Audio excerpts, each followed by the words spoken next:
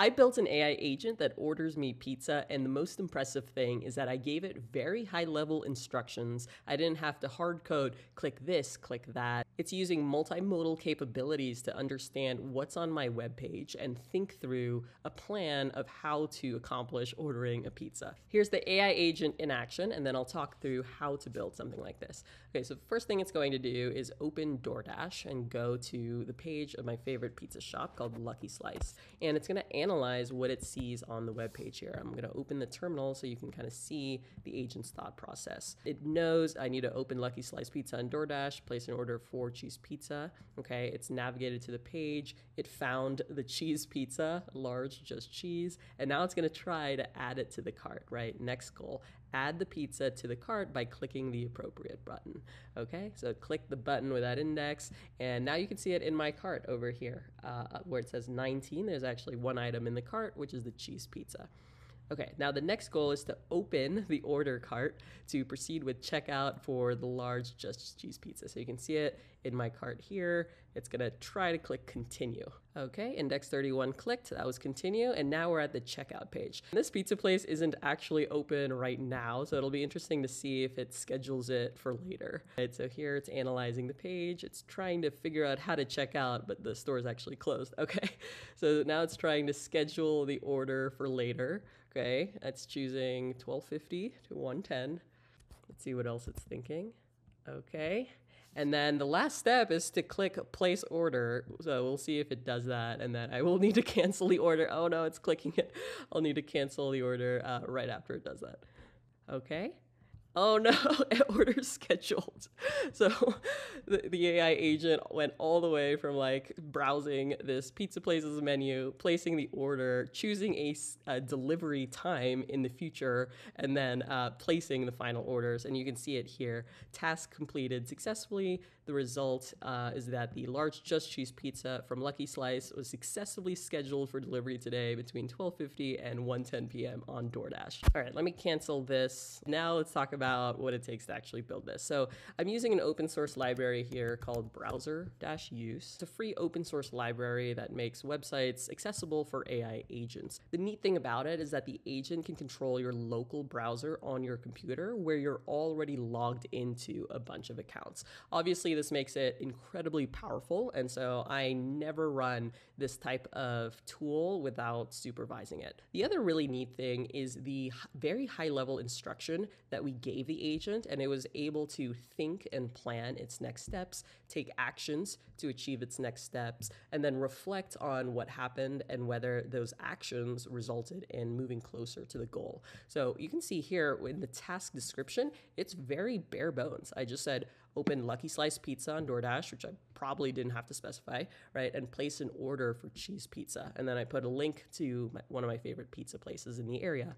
And that's pretty much it. I didn't tell it you need to click the red button that says checkout or you need to order specifically the name of the pizza. I didn't even tell it to schedule the delivery in advance, right? It figured that out from analyzing the web page at that time using multimodal capabilities. For this demo, I'm just using ChatGPT 4o, but you can use an open source multimodal LLM as well. And the code up here is just to configure the browser to connect to your local Chrome browser. And the key thing to make sure this works is ensure you have no other Chrome browsers open when you launch the agent. I'll put this code in my newsletter in the video description if you want to just copy paste it. So the first thing you're going to do is clone this open source GitHub repo. So go to this link, github.com slash browser dash use slash browser dash use click this green button code. If you're technical, you already know, go to SSH and use a password protected SSH key, copy this URL to clipboard and then open your terminal. If you're not technical, you're probably going to use this HTTPS clone using the web URL, click copy URL to clipboard. And then on a Mac, you're gonna wanna open terminal or iTerm, create a separate folder for all of your technical projects.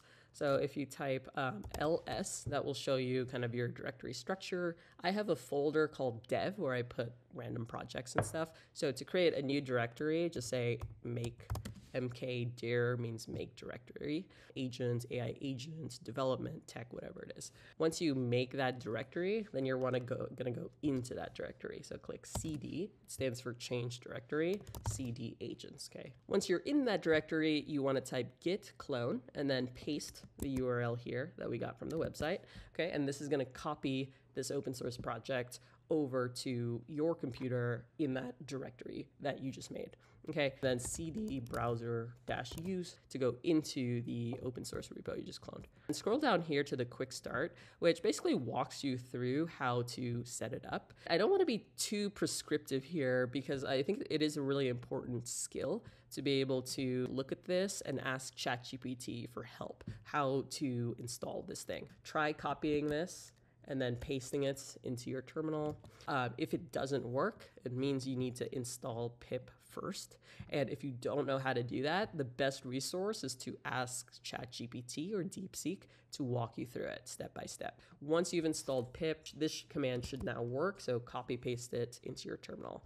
Okay, once that's done running, installing stuff, go to step two, which is playwright install. So copy paste that over here, right? And again, if you run into any errors, like don't be overwhelmed. Just take a screenshot of what it says, drop it into ChatGPT or DeepSeek, and ask how can you troubleshoot it. So It'll just walk you through it step by step. This part, spin up your agent. You can copy this example here, but more realistically, you're probably gonna want my example. I'll have this code that you can copy paste from my newsletter in the YouTube video description, or you can just take a screenshot right now and drop it into ChatGPT and ask it to type out what the code says. Make a new file, touch to create a new file and then let's just say test.py.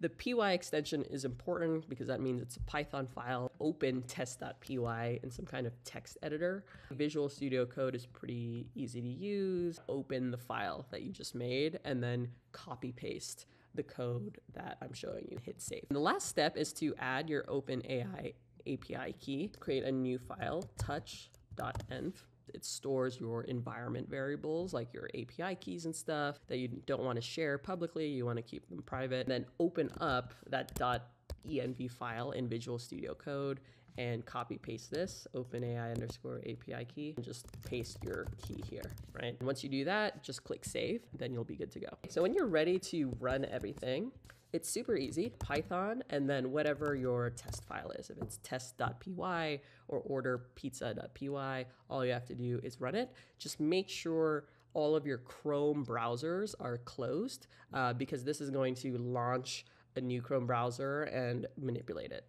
So go ahead and close all your browsers and launch this. In my case, it's called uh, Python uh, order pizza. I just wanted to point out different things you can see in the logs.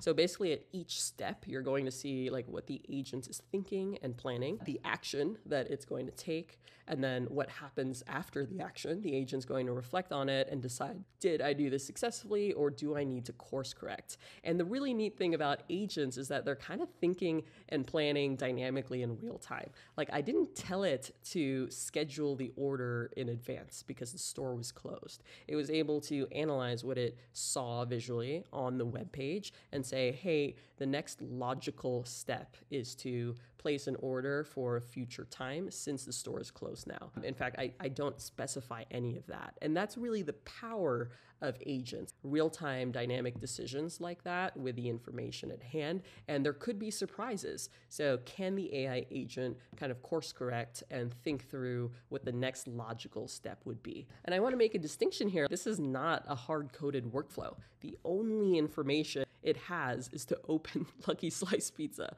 on DoorDash and place an order for cheese pizza. Yet it was able to navigate a fairly complex website like DoorDash. A lot of different things going on, a lot of images, a lot of buttons that you could click. If you enjoyed this video, let me know. Hit like, hit subscribe, and I'm happy to make more videos like this. I'm Sabrina Ramonov. Thanks for watching.